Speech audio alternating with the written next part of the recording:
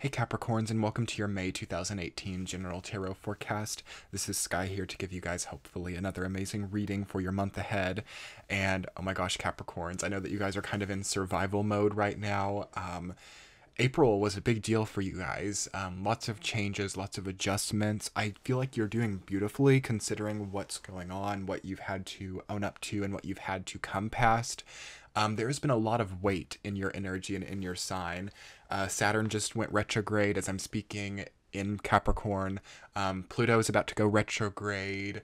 Um, Mars has been in your sign. There's been that stellium of uh, Saturn, Mars, and Pluto, and various other things in your neighborhood. So you've had to suddenly adapt and suddenly um, try to understand and comprehend what you've lost, what you've gained, and how to move forward. As the image that I see when I'm feeling Capricorn energy is like um, somebody really blinded by like really bright light, and you're like having to look just a little bit like through your fingertips and try to find your way. Um, there's so much activation of your energy, so much potential, so much possibility but you're moving a little bit slow, and that's okay. We have Jupiter retrograde as well. Um, I do have a video on that. You guys can check the top right hand corner of this video to check that out. Um, I should have more retrograde videos coming soon as well if they're not already up when I'm uh, speaking in this video. Um, but yeah, it's hard to move too quickly, and I do feel by the end of the month, you come into a place uh, by the end of May where you can have like this really quick, sudden transition and turnover. But it's going to be really important to pace yourself up until then and to not be like moving too quickly, as I do sense you might be a little bit burned out. You have the nine and ten of wands in your reading, um, as well as two of swords. Uh, so your energy levels might feel a little bit depleted. Like really, uh, you might have signed up for a lot of tasks or had have been delegated many um, tasks from higher ups in work.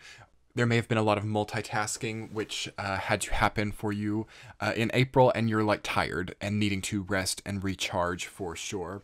Um, you are changing something though. Something does change in May.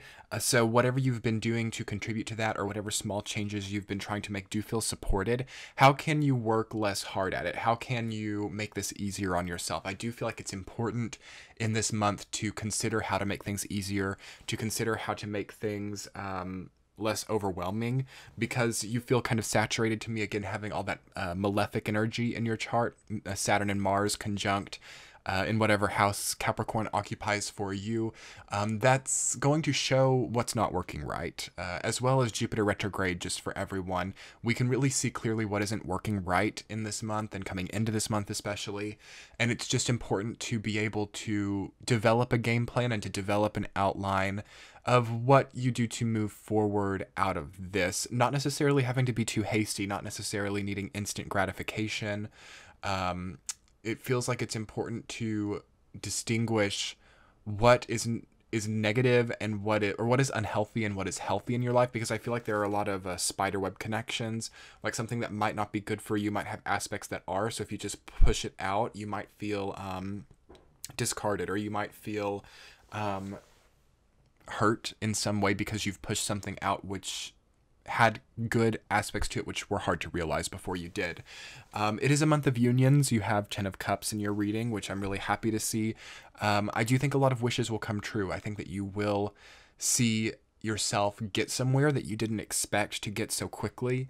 I feel like relationships are actually pretty good this month. You have Two of Swords, which could make it um, not perfect for everyone, but I do feel like it's good to pursue that. So it could be a month of engagements or marriages for some, um, or planning that. I know we're getting close to June, so um, it could be a month of like planning marriage. Congratulations for those of you who are. And um, ultimately, just a month of, I feel, sharpening yourself, sharpening your intellect. Saturn and Mars may have come in and really showed you where everything was missing. Um, it may have showed you where you weren't like well calibrated. So take this month to slowly reintegrate yourself, to slowly recalibrate yourself and uh, become stronger in that way. To get into the week to week, though, week number one, Capricorns, you have Nine of Wands reversed, rooted down by Queen of Pentacles. So you are redefining how your lifestyle is. You're very tired, or your endurance might feel like it's lacking. Um, like you might feel breathless. You might feel um, trapped in a situation. And I feel from what I'm seeing that the answer and resolution to that is just by slowing down. Again, the Queen of Pentacles energy is not too fast, and it might sound too easy. It might sound like, um, well, I've tried to slow down, but have you really? Uh, I think with Saturn being in your sign, there's a lot that you're responsible for. There's a lot that has to happen on your behalf. So when you know what you have to do, when you know how much you have to produce and how much you have to um, output, it's hard to be slow even if you've like delegated yourself a day off. Like you have like the day off on sunday or something and you think oh my gosh well i can't even relax because i know what i have to do like a month from now. And i'm worried about that. Learn how to control your mind. I feel in the first week if you uh, fix your diet a little bit move more slowly um, start vitamins. I feel like maybe capricorns it would be good to um, be putting something into your body which helps it to function normally because a lot of this could really be health or just fatigue or some kind of like deficiency of something very simple. But i do feel in like two years from now when saturn like moves along that it could end up being something much more chronic or severe by that time if you don't face it now. So week number two ten of cups rooted down by page of pentacles. Um, you are perhaps business partnerships. That's what that really seems like to me. Page of Pentacles is like a startup business or new uh, chapters relating to how you establish stability in your life. Um, so to me, it feels like making peace with somebody or some kind of business partnership so that you move forward feeling more benevolent. It feels encouraged. It does feel like this is a good time for business business partnership or a good time for negotiation of some kind. It does feel like everybody can benefit. You are blessed in this vicinity. I do feel Saturn is helping you in this way. Um, for those of you who are not business owners or are not doing business negotiations during this month, I feel that this gives you a nice dose of energy about what you actually want to do with your career. It's a very strong career energy coming in in May. So, by seeing what that entails for you, you will move forward with the most um, sense of uh, healthiness. I feel Cap- is Capricorn is funny that way. Your stability, your career, your purpose and ambition. These things very much connect into your health grid. So um, you may have to step back from that. You may have to like disintegrate that a little bit. So separating the career and health, it's quite difficult for Capricorn. Um, only if something has really fallen apart or if you're very traumatized by something with business or career. Otherwise, it feels like pushing more into it, uh, doing more of the things that you enjoy, you know, turning that hobby into a career is very supported. Even for Capricorn, really only for Capricorn at this point in time, like doing the nine to five along with the new business, you truly can do it right now as long as you're coming back to yourself, as long as you're staying healthy. Week number three, Queen of Swords reversed, rooted down by Two of Swords.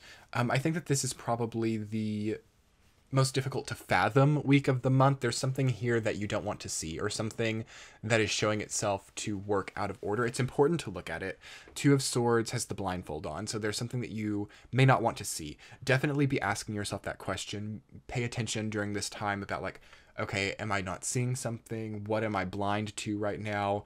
Um, what am I missing? What am I missing in the third week? Because Queen of Swords reversed is also about, you know, having this incredible intellectual and formulaic mindset, but just like maybe being a bit blurred. So brain fog or fatigue or something like that that's making you feel like you can't quite like sharply grasp onto things and you're like, well, I just can't handle it. So um, maybe you're taking some time to get back to yourself and um, not have to be so mentally stimulated.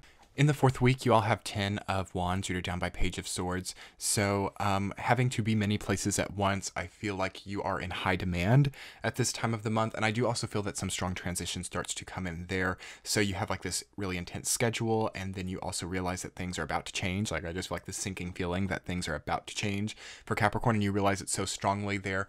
Um, try to make sure that your posture is good. Try to make sure that you are not holding up too much of the weight of the world.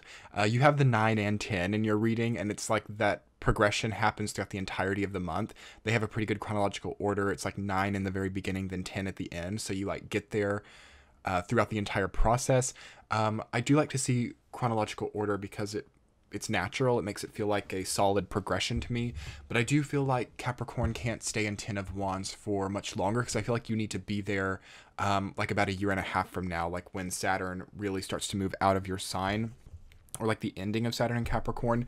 So try to not force that phase of, you know, doing it all, you know, um, pulling out all the shots right now and really pushing yourself into that very um, taxed position um, definitely hearing the word taxed. So dealing with taxes or dealing with um, how you're distributing your energy and paying out your energy is so important. Learning that energetic budgeting, whether it be, I mean, it could be money, but I feel it mainly to be energy um, through May is important. You will see it perhaps for some of you, not all of you, through like um, pushing too hard. It does feel like there's a lot of push. There's a lot of um, strain.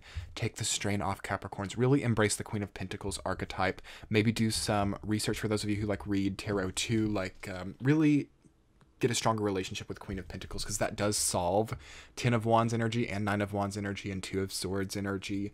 That like like really getting back to yourself and getting back to what is authentic to you, and you know uh, supporting your body to be strained. If you have to be strained, sometimes it's unavoidable. Um, make sure that you're supporting your body to feel a bit strained. You know, um, come back to yourself have a healthy diet, healthy sleep, healthy sleep patterns. Knight of Wands is your central theme, Capricorns. Um, so travel, uh, moving, changing location, um, make sure that you are integrating the solitude and change in location because you have a little bit of both. You have like that two of swords energy. Um, although it really is the only one that's like strong solitude. Nine of wands can be that too sometimes. Um, you have to mix with people though this month as well with Ten of Cups and um, Ten of Swords. I often see as um, a mixing energy sometimes as well. So try to integrate the solitude and the mixing. Um, also, try to not like want the other when you're not in the other's place. So, like when you're alone, you want to be with people. When you're with people, you want to be alone. Um, enjoy the times that you have with both because it does feel like you want both.